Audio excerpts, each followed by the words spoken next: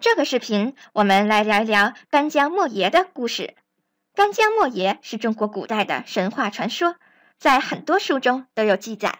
不过，将干将莫邪这个故事描写的最为精彩的，那就要算《搜神记》了。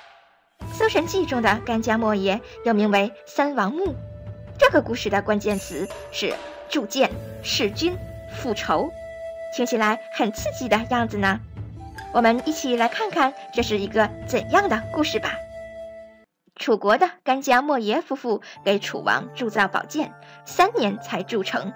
剑有雌雄两把。干将对妻子说：“吾为王作剑，三年乃成。王怒，王必杀我。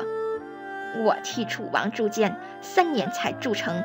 楚王生气了，我一去，他必定会杀了我。”在妻子的眼泪中，他接着说：“汝若生子是男，那告之曰：‘出户望南山，松在石上，剑在其背。’你如果生下的是个男孩子，等他长大了，你就告诉他：出门望着南山，见松树长在石头上，宝剑就在树的背上。”于是干将就只带着一把瓷剑去见楚王了。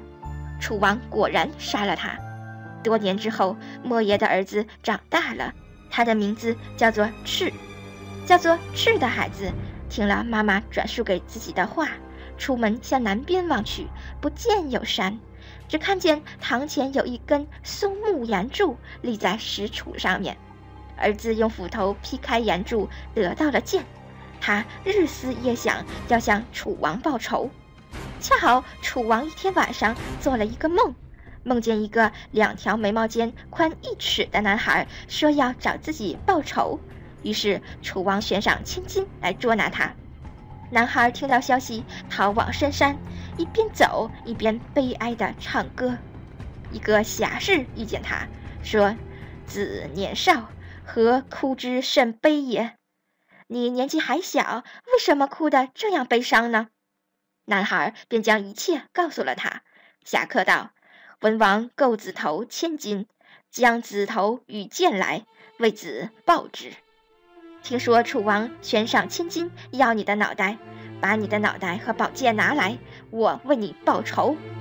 男孩挥剑砍下自己的头颅，双手捧着，将头和剑交给侠客。侠客说：“不负子也，我不会辜负你。”男孩的身躯才倒下。侠客拿着头去见楚王。楚王十分高兴，侠客说：“这是勇士的头颅，要在大锅中煮。”楚王听话的照办。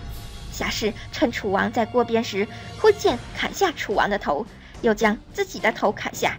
于是大锅中有三颗头颅，在滚水之中，头都煮烂，分辨不出谁是谁了。于是锅中之物分成三份埋葬，统称为三王墓。真是个壮烈的故事啊！这短短的一篇《干将莫邪》，读罢总令人心潮澎湃。故事中最令人动容的，便是那份至诚与侠义。干将之子听说山中侠客要为自己报仇之后，毫不迟疑地将自己的头颅奉上，这便是一种至诚。而山中侠客一诺千金，不惜一死为人复仇的侠义情怀，更是令人心中激荡。这篇小说如此生动地诉说了一个完完整整的复仇故事，栩栩如生地刻画出至诚侠义的人物形象，带给人心灵深深的震撼，真是一篇神作呀！好啦，这篇故事就讲到这里，快去做题拿金币吧。